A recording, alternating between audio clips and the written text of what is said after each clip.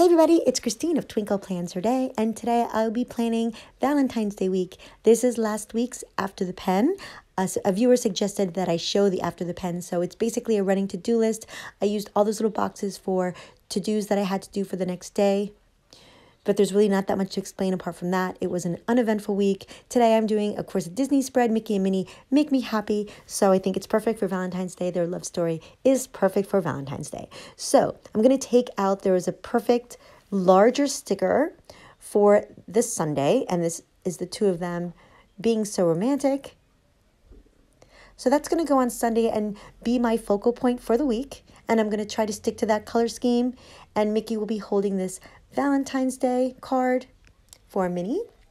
And then I'm going to take out my uh, Colorful Shapes books. I've got this Valentine's Day book as well from the Be Happy box that came out today. But I don't think I'm going to use it. This is the All, of his, All in a Season box uh, book. And it has a lot of hearts that I found accidentally. Wasn't planning on using those, but I think it's perfect for this spread. I'm going to have the hearts going around Mickey and Minnie. I was looking for a mailbox but I didn't find one. So those little hearts are going to go in the air around Mickey and Minnie.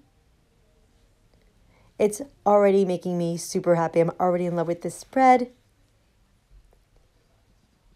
And I think a lot of planners decided to use this sticker, this particular sticker, because it's so perfect for Valentine's Day. So I'm hoping not to copy them. So I tried not to look at any other spreads. It was very hard to keep me away from my phone. But I tried not to look, but I know other people did. So I'm going to take out some boxes and see if I can find anything that's cute. I like this red one from Monday. I've got a lot of things to do on Monday. So that's going to go on top there. And I think it's going to balance out just another anchor because it's very heavy on the right side for now. I'm going to put another box. Oh, I decided to put it back because it was too overpowering. I'm going to look for maybe some smaller boxes. And here's a good one for Friday. Friday, we're having in-class Valentine's Day party, as most preschools will. So there's just a couple things I have to remember to bring in, like Valentine's Day cards for the kids and candy and stuff like that, things that we'll bring, be bringing in decorations, setting up the classroom. And I love the hearts from Colorful Shapes, so I think I'm going to be using these hearts in this spread. We've got some red ones here, and I'm going to cover up that other Disney, that other that other picture of Minnie in that box. I don't want to make it too distracting for I want the focal point to be that large sticker. But I'm going to put on the left-hand side some hearts up along the side of the on the sidebar. And I was thinking either I'm going to put my meals, like plan my meals in those, or just like make it a running to do list in those hearts. Probably I'll do my meal planning because I do have, I think, all my groceries for this week already because there's a big snowstorm. So I'll get everything done so I can plan out my meals and I probably won't have to go to the grocery store. Kind of excited about that. That's how boring my life is, folks. So I love lap overlapping these hearts together. I think it's a cute little look. I'm going back and forth between the colors. I really love these heart stickers. I actually bought another sticker book just so I can have more of these hearts, which is pretty sad, but I do like them so much. And I was debating about how far down I should let the hearts go without it being too much. I think this spread is going to be simple for me. I know I'm really heavy into layering, but I think for this particular spread, I want to, I wanted to keep it simple and have the focus just be a clean spread, like not too busy. I could have left it like this actually, but I decided to put some washi. I am so getting into the washi. I totally get it now. I was in the dark for a long time. I am now a convert. Do I had the the the washi from the Be Happy box, which is stunning. But then I saw the washi, the faux washi from the in the sticker books, and I thought they worked well, so I just stuck stuck with that. But if you did order the Be Happy box on uh, today for the Valentine's Day one, the washi is really really cute. So I think you'll like that. I mean, you may not get it by Valentine's Day, but it comes once a year. You can have it for next year. It's fun. So here I'm doubling up on the washi because I thought it was a little thin. So I just added an another layer to it. And while I'm here, I thank everybody so much for those who came to the Michaels class today.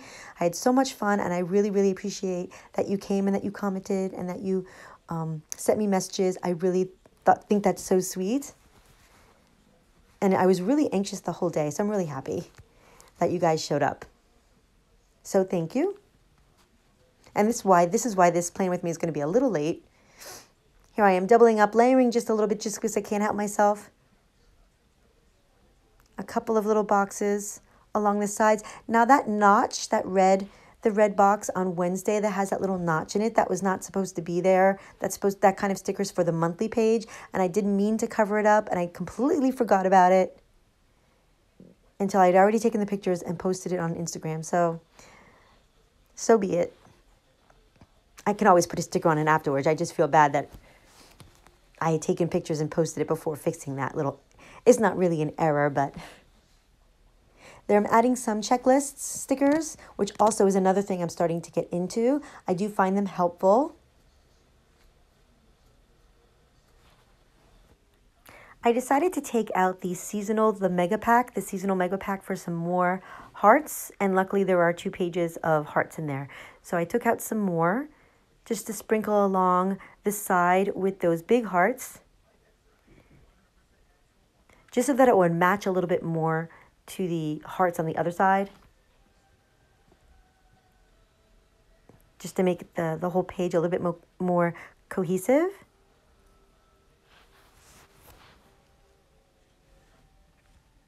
I've got to say, after doing that class on Michaels, I was so tired. The last thing I really wanted to do was plan.